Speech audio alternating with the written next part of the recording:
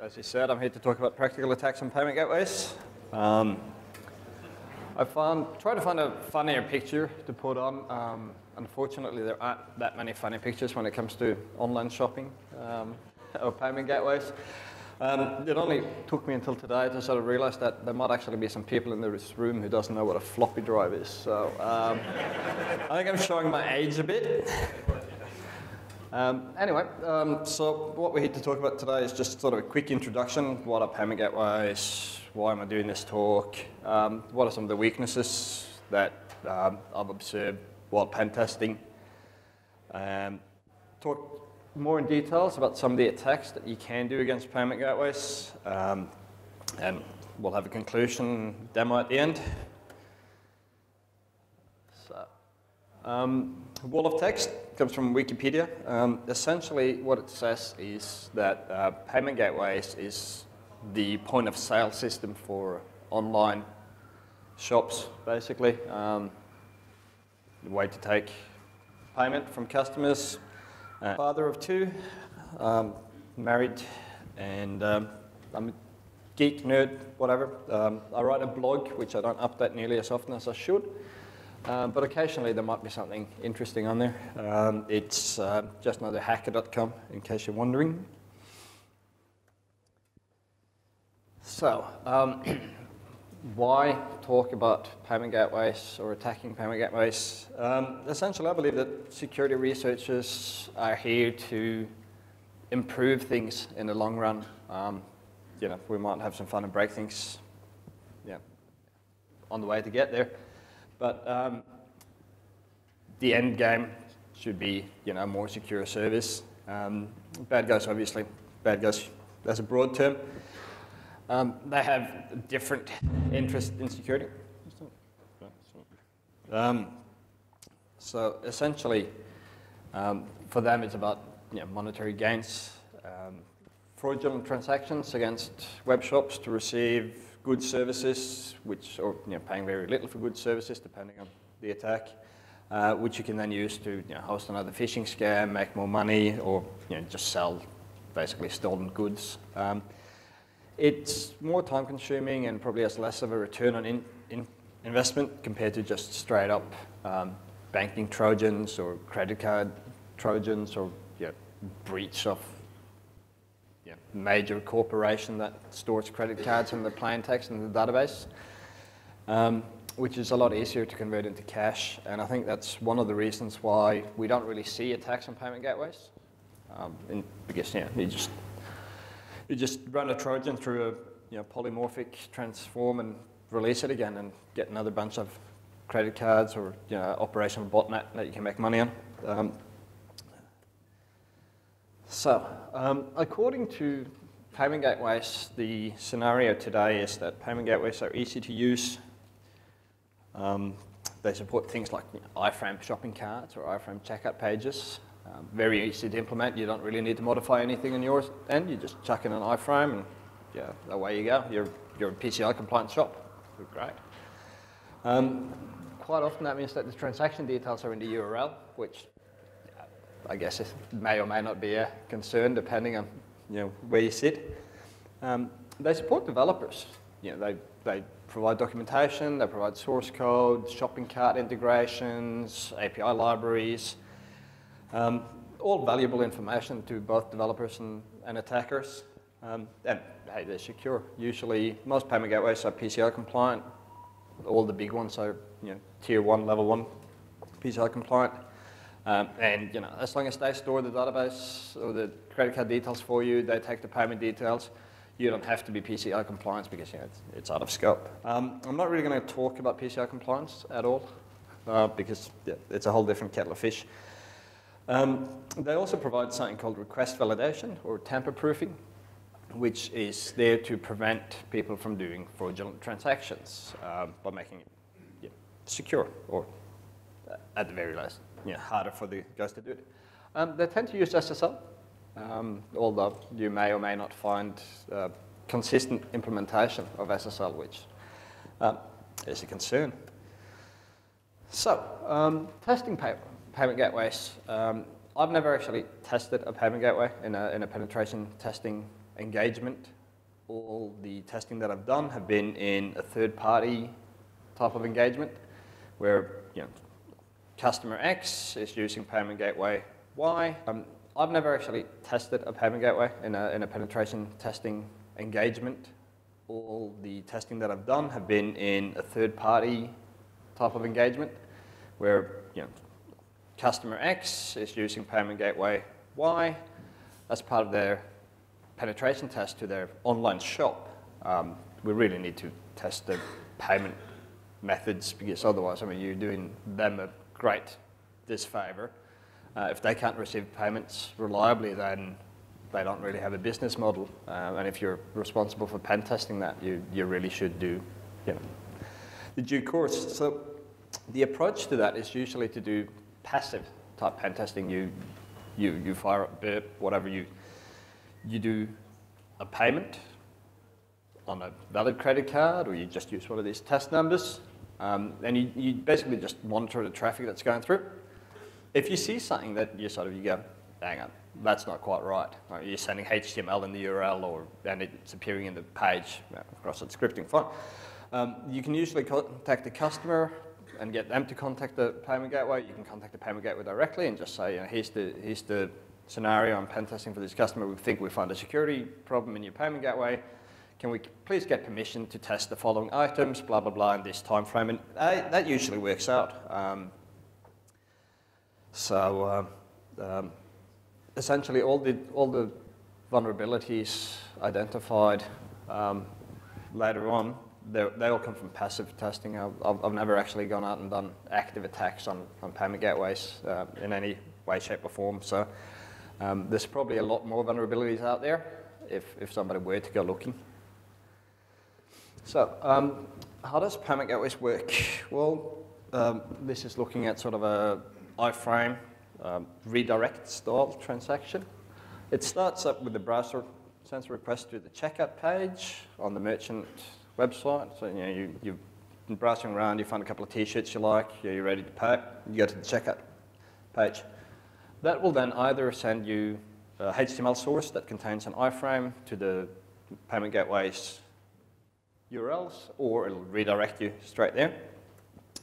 At which case your browser sends another request to the payment gateway saying, please give me you know, the checkout form or payment details. You get a form back, that says, you know, please enter your credit card details, blah, blah, blah, blah, blah. Um, you submit that, and it goes hopefully over SSL to the payment gateway. And then they will return you usually a, a, redirect back to the merchant gateway with some sort of payment received message so that the merchant gateway, who hasn't seen any of the transaction between you and the payment gateway, can know that, hey, payment was actually received. Well, this money should be appearing in my account. So then the browser goes back to the merchant website, who usually displays like a thank you for shopping with us, you know, here's your order number or here's who to call if you, if you don't get your shipment of t-shirts. Um, so that's really covering the basics of, of payment gateways. We'll, we'll come back to particularly the transaction stuff a bit later. Um, so what have we seen in the wild? Well, cross-site scripting, that one's usually to be expected. I mean, is there a website in the world that doesn't have cross-site scripting on it at some point in time? Um, information disclosure, again, yeah, um, usually it can be from you know, sort of helpful error messages to uh, here's a stack trace. Um, directory traversal, that one's pretty bad, especially if you store the logs in the web root and the logs contain transaction details. Uh, negative numbers, that's an old goodie, you know, get some money put back onto your credit card by charging yourself some negative numbers. Um, exposure of credit card numbers, um, usually that just comes down to sort of yeah, ver verification page. Please verify the details you've entered and then, you know, allow cache. Uh, not so good. Um, configuration issues, that sort of broad covers things like, you know, uh, HTTP only cookies, secure cookies. Um, I've, I've, never tested a payment gateway that didn't have at least one issue. Um, there are more issues, usually sort of minor. Um, I think the reason why we don't see stuff like yeah, SQL injection on here is because, again, I haven't had permission to attack the payment gateway URL. Um, it's not because know, they're secure necessarily. Um, so, um, what are some of the basic attacks that you can take? Um, someone, when you're doing a payment like this, details are in the URL, it's an iframe or it's a redirect. Yeah, uh, fire up burp, intercept the request, change the payment amount, put in a negative number or just you know, zero dollars a cent. Um, change the currency. So if you're unable to change the payment amount, you might be able to pay in, you know, yens or Italian lira or something that, that's not as valuable as uh, US or Australian dollars. Um, tampering with the return URL, while probably not as efficient for you know, fraudulent transactions, but um, it quite frequently the return URL will end up in an open redirect because it's just the way they're implemented. They, they really have to accept, just accept that risk. Um, so sometimes you might be able to just do a yeah, spoof a payment URL, change the return URL to go to a phishing page, and because you've inputted some invalid data, it'll just take you back to the return URL without showing the payment gateway form and stuff. But um, at the end of the day, it's not really that much different from sending somebody an email saying your payment was cancelled. Please click on this link. I mean, it's, it's fishy. Um, and of course, you know, spoof transaction complete because the merchant website, as we saw in the transaction details, doesn't know whether or not you actually communicated with the merchant website at all.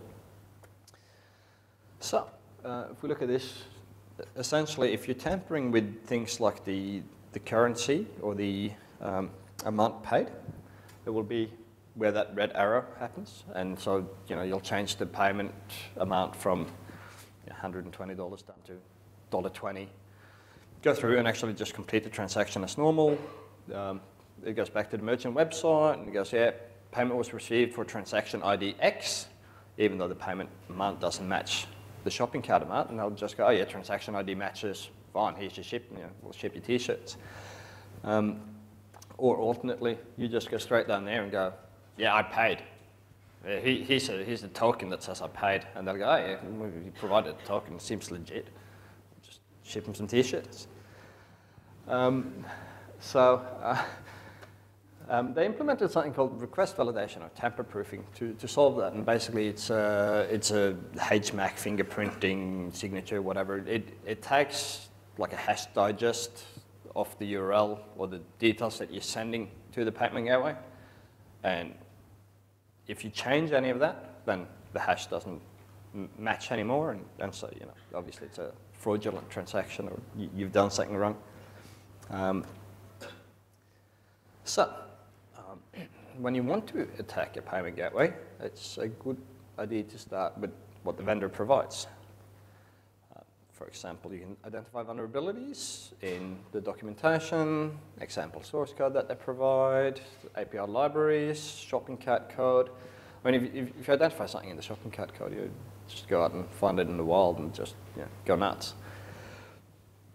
If you're a bad guy. Obviously, you know, us ethical penetration testers don't do that. Um, so here's some examples that I've taken from uh, vendor resources. He's a customer activation example. Um, if you know PHP and you're able to read it, uh, you'll see what it does. If you can't read it, essentially it gets two variables provided by the user, known as customer reference and subscription reference. Um, if those contain anything, doesn't actually check that they need to match anything, it will open a file based on your customer reference data provided and write the details you submitted as subscription reference data. So essentially you can, as long as the web server has write permissions, you can write arbitrary data to an arbitrary file on the file system. Uh, it's very handy if you're trying to get shell on a PHP installation.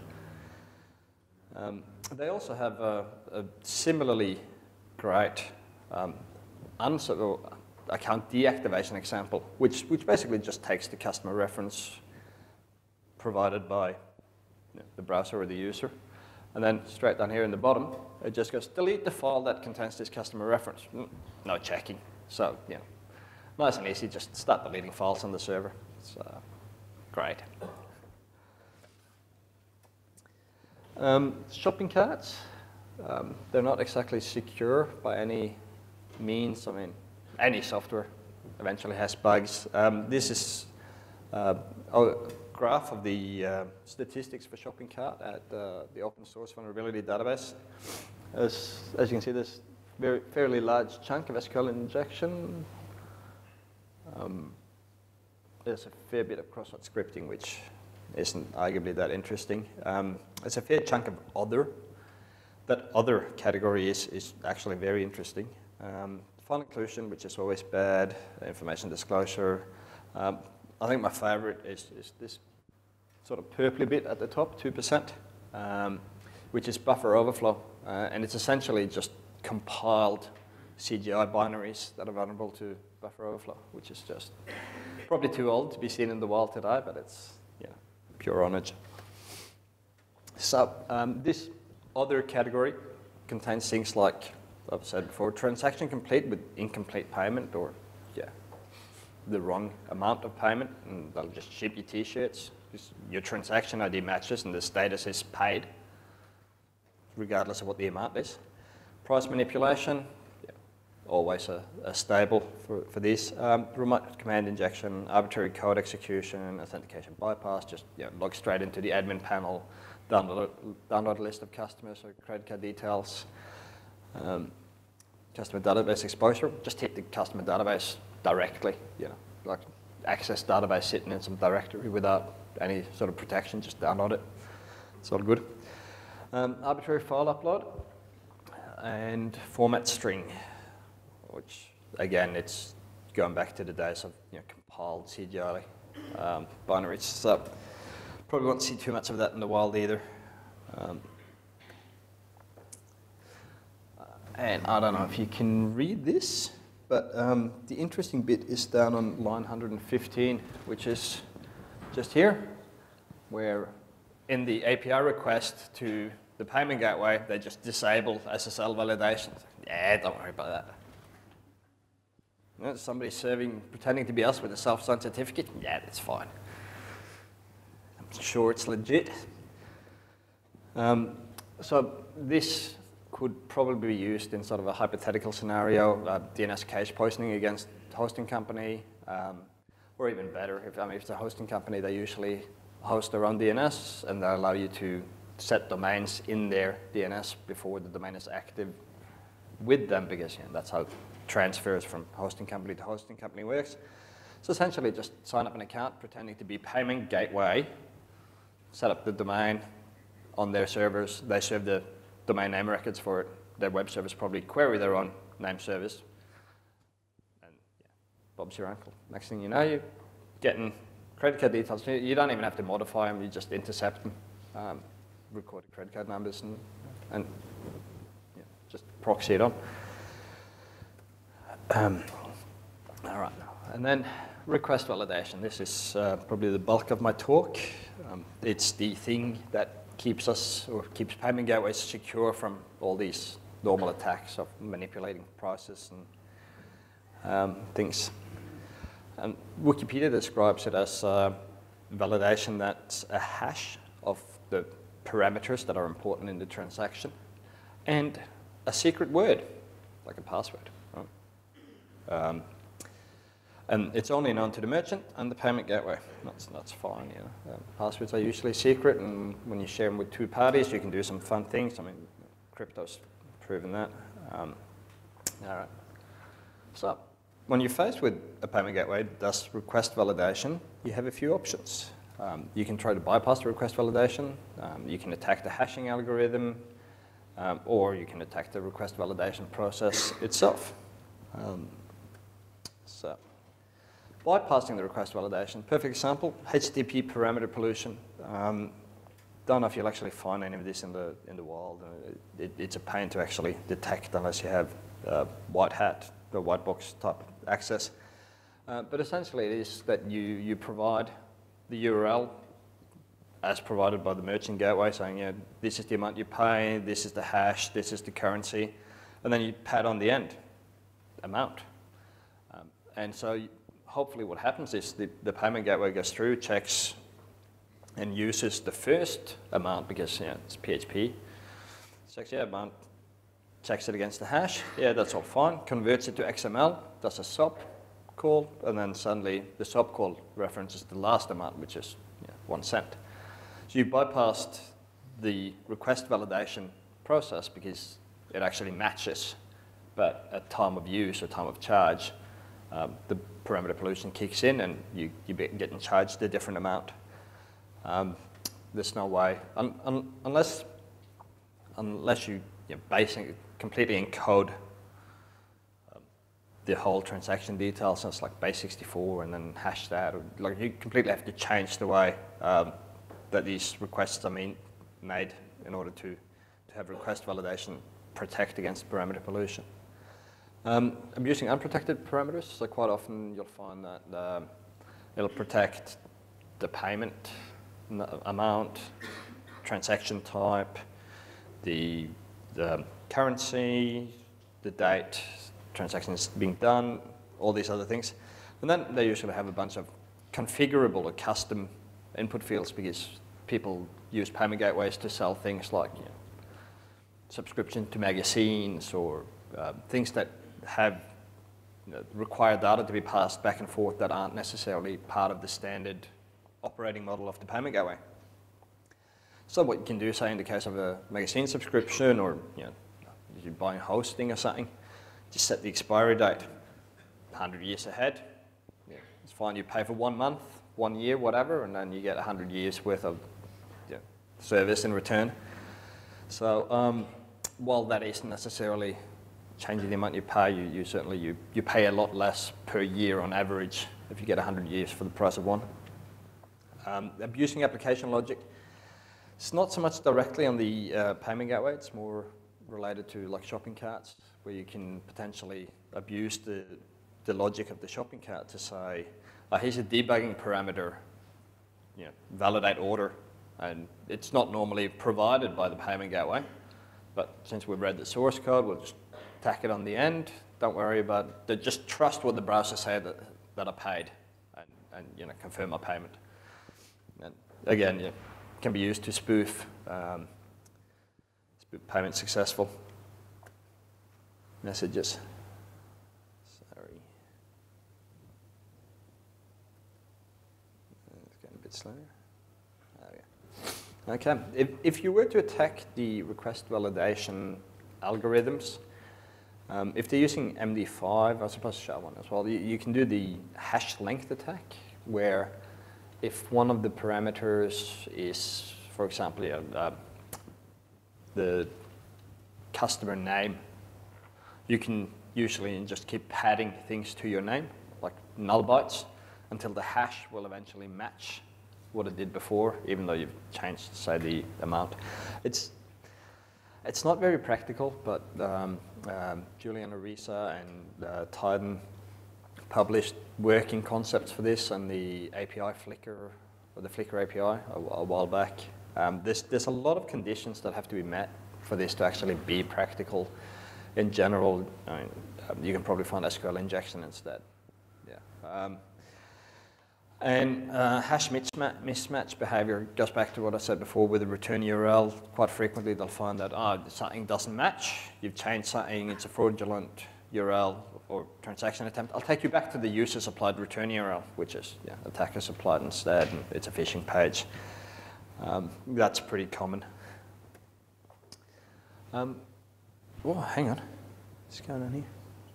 Oh, actually, oh, sorry. Um,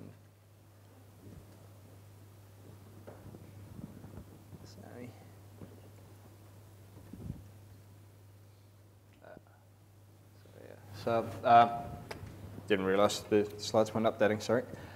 So there's the examples of what I spoke about before, parameter pollution, unprotected parameter, and of course, you know, application logic. Just you know, tack on the validate order bypass. Um, and yeah, again, um, attacking the hash length attack or you know, padding and uh, redirect. Not very exciting. So. Um, breaking the request validation, uh, we can actually execute brute force attacks on the request validation Um, there might be uh, there's, there's non-plain text in there because you know the amount that you're paying. You usually know the date that you're paying. Uh, you might know the merchant ID, so you can definitely use that. Um, there's often weak entropy, so they'll convert like all the parameters to lowercase before they hash them, or uppercase before they hash them, just to avoid mistakes. Um, and, and so, yeah, entropy isn't that high. Um, the beauty of this is it can be done offline, and you can usually do it without completing a transaction first. So, um, to show an example of this, the following shows um, pretty standard type of request validation of you know, how to create a fingerprint. You do a SHA-1 or MD5 of uh, like a merchant ID, the password, which is the secret key known only to the merchant and, and the payment gateway. Transaction type, a reference ID, which is usually you know, payment or the merchant website provides that. The amount, timestamp. Um, in this case, as you can see, you would probably be free to modify the currency, even if you couldn't um, break this because the currency isn't included in the in the hash. So you might not be able to change the amount, but yeah, change it to something that's not worth much and you're not paying the same anyway. So um, in this case, if the merchant ID is ABC 0010, password is password123, very secure. Transaction type is zero, test reference is the reference, the amount is $100, and yeah, um, the timestamp is last month, then that's the hash that you get. Um, now, if you were on the checkout page and you were to look at the page source, you'd see a lot of hidden input fields. I've, I've chunked the HTML a bit to make it fit on a slide, so yeah, you get the point. Um, so the merchant ID, that's in there. The transaction type is in there. The reference ID is in there. The amount is in there. The timestamp is in there. And the hash is in there. Um, and the result URL, which isn't protected, so you can always tamper with that. So, um, to summarize this, these are the details they're using to generate the hash. And then if we add the details that are in the form, let's say there's a lot of the same information. Essentially, if we ignore all the fields that are identical, you end up with one unknown field, which is the password, and you have a known hash. That's pretty similar to breaking any type of hash, really. So you, you, know, you do a password, you, you hash it and see if the hashes match. So, to add to this, the um, password is usually provided by the vendor or user specified. Um, there's usually no change requirements. Right? So if, if, if, you're with the vendor for 20 years, your password for the API stays the same. Um, yeah, sometimes converted to upper lowercase, which yeah, hurts um, the, the complexity. Um, so if you were to do brute force, yeah, those are really your options. Um, yeah, usually about eight characters, which, yeah. Um, uh, the bottom one is, is one that I see a lot, which is essentially they just give you a hash. Like here's an MD5 hash, and that's your, your secret key. Um, I haven't had the opportunity to see whether or not that hash correlates to your account password or anything fun. Um, I don't always have great faith in developers, so that wouldn't really surprise me. All right, so once we've broken the request validation, we can perform SQL injection attacks because now the, we can sign a payment amount that contains apostrophes, um, you know, that wouldn't normally be possible otherwise. Um, we can alter the cost of the transaction, we can alter the currency, again, depending on which payment gateway it is uh, and, and, which parameters they protect. Um, or we can just spoof payment receive signatures, which is um, preferably what you want to do. And the reason why we can do that is because in addition to re request validation, they usually have a response validation, which is used to validate that the information that you claim came from the merchant gateway has been signed with a key known only to the merchant or the payment gateway, so that you know, random attacker wouldn't be able to know the key and thus wouldn't be able to sign the message saying that, yeah, I've received money, it's legit. Um, again, it's the same thing. Um, it's the merchant ID, it's the password, it's the reference ID, it's the amount, it's the timestamp, and then in this case, it's an additional summary code. And because the password's the same, once you break it, you know what it is. You just got to know which fields to include, and again, yeah, that's where you go back to vendor documentation that will tell you all of this. So, time for a demo.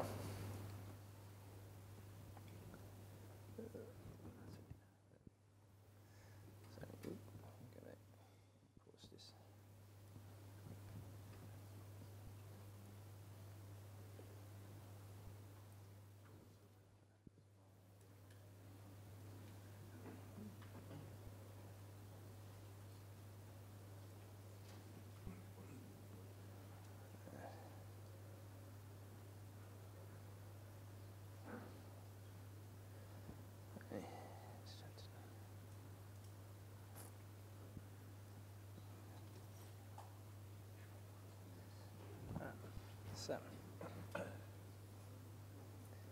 have a VM running a pretty common um, shopping cart. So I'm just going to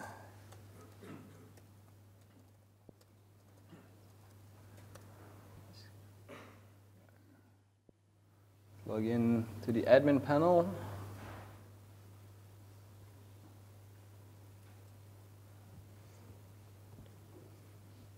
Luckily, my computer's really fast. So, uh, might be a bit of waiting around for the demo, unfortunately.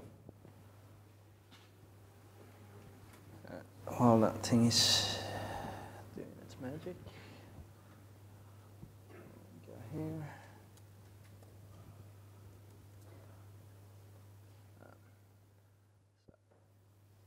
So this is essentially what it looks like. It's uh, basic install of a web shop. Comes with some default products. In this case, we're looking at the MacBook Air.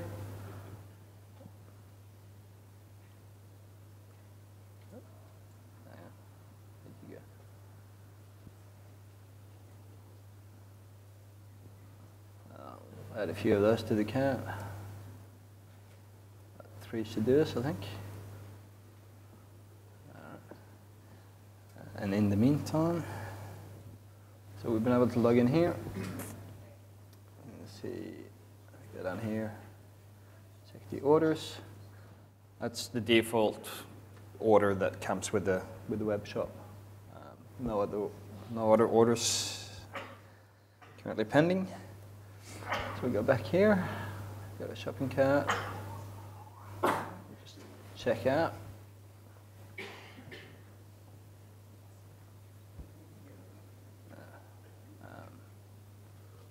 check out as a guest.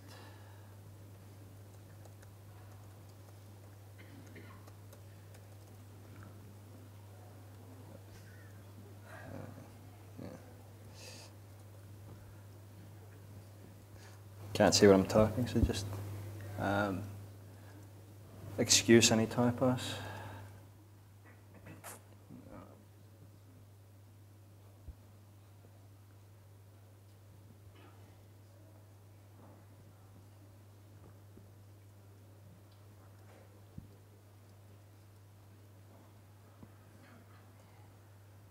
Victoria, some rubbish details there.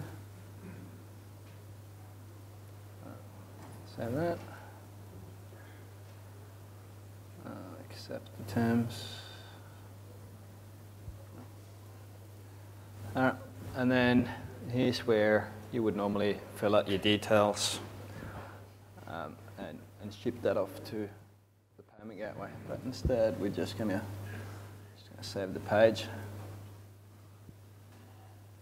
I don't want to for this. Um, and then I'll just run this cracker that I get. So as you can see, it's extracting the non-details from the, the payment gateway, like the, the merchant ID, the transaction type, the amount, the currency, the hash, the return URL, and then basically in, in order to make this execute in a you know, feasible amount of time, I'm using a dictionary attack instead of you know straight up brute force attack. Um, my key is also longer than eight characters, but uh, it's not that important.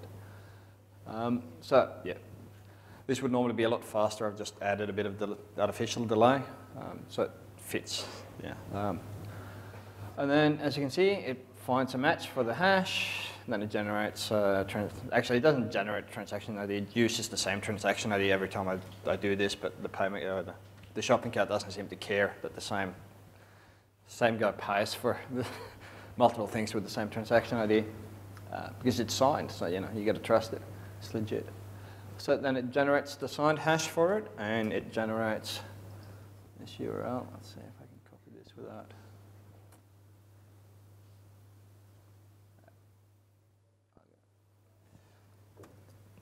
So, but before I go to this URL, I just wanted to confirm that this order hasn't been paid for yet. It shows up that we've got a, a new customer to the to the shop. Um, so what, once I go back here, open just new tab, check that URL in there, and then this will take about a minute because it's trying to connect to the internet. Um, so you just going to wait for DNS to time out.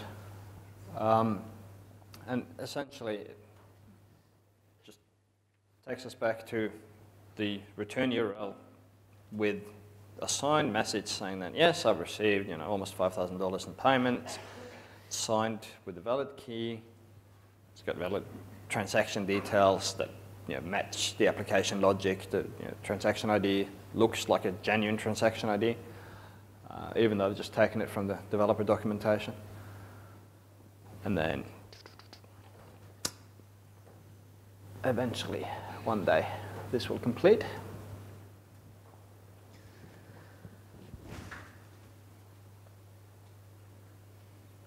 Probably just knocked out the DNS and the host's file.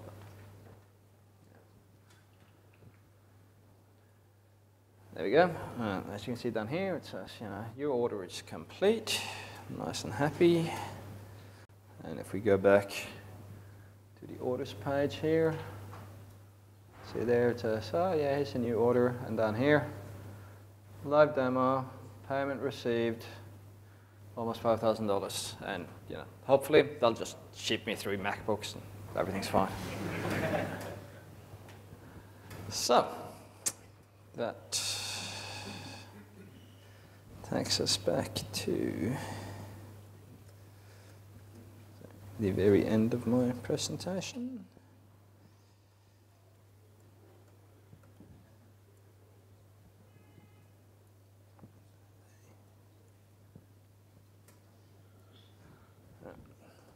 So, in conclusion, don't rely on the browser to drive traffic between the merchant website and the payment gateway. It just, there will always be something. Um, always validate the transaction amount and payment status in a secondary request to the API. You know, don't trust what's being provided to you, just validate it.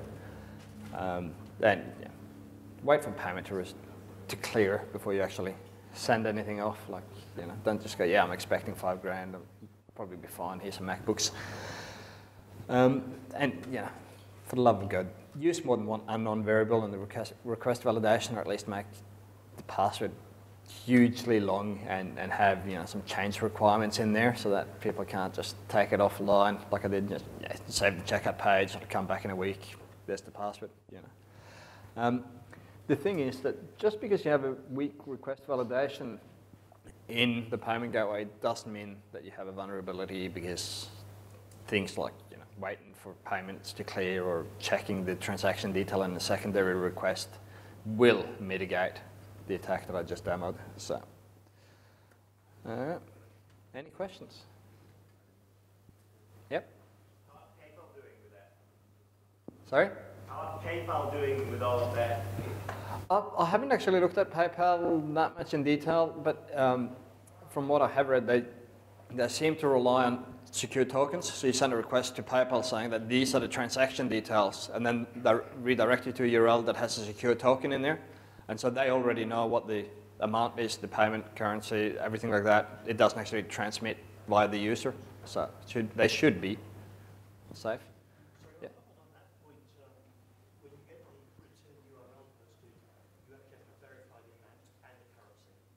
I'd say so, yeah. PayPal, sorry. PayPal. So uh, it's been a long time since I used PayPal like that, but it would, um, I guess, to mitigate the, the back and forth so much, you'd set up a URL within the PayPal that will send an instant payment notification directly to the website. Yep. Um, so therefore, any anything that the client browser gets to say uh, transaction true or false would be uh, ignored anyway by Well- the website. They're not the only payment gateway that does that. The thing is that since you're cutting out the payment gateway component, so you're not going to the payment gateway and paying. If you know what the return URL is, you can just connect to it directly and say, yeah, I'm PayPal, he pay. And then, you know, if, if they, don't, they don't usually have a, a limitation that the notification URL has to be restricted access by a IP or, or you know, username and password or whatever. It's just like the return URL gets some data and it usually believes it, more or less. Yeah. So uh, there are ways around that too. Any more questions? That's well done here. MasterCard has required uh, the payment gateway to talk to the hosting company for about 15 years. How often is this really happening? Because I know Uh, I run a payment gateway and we've got some clients who don't do this, but they're charities. They don't care what amount you're donating, Yeah. they just want an amount. Yeah. And they're happy with that. And we get special um, write-offs for them, so they allow, that we can allow that. But um, is anybody really doing this in the modern world today? Because all the, com- all the payment gateways we compete with require this back channel communication as well. Yeah, he- heaps of them do just straight up, let's rely on the browser, just direct traffic between you know, X, Y, Z. Um, major ones in Australia, in Europe, in the US, all do it. Um, they tend to rely on this, the you know, request response validation method to operate in a secure fashion. The, but like I said, even though, even if there's like a direct, if, if there's direct API so that the browser isn't involved, then yeah, you don't have this issue. I think, though, like I said earlier, we don't see exploitation of this because, you know, at the end of the day, you can maybe, if you're lucky, get a couple of MacBooks off a site and then that's sort of it, and then you have to deal with getting the shipment, you know, selling them again, blah, blah, blah. Whereas, you know, let's just make a botnet or, you know, steal some credit cards from a database. Uh, it seems to be that it's too much hard work. I don't know, uh, or you know, not enough return on investment for the organised crime to do this, but I could be wrong. Anyone else? Looks like it. All right, big round of applause.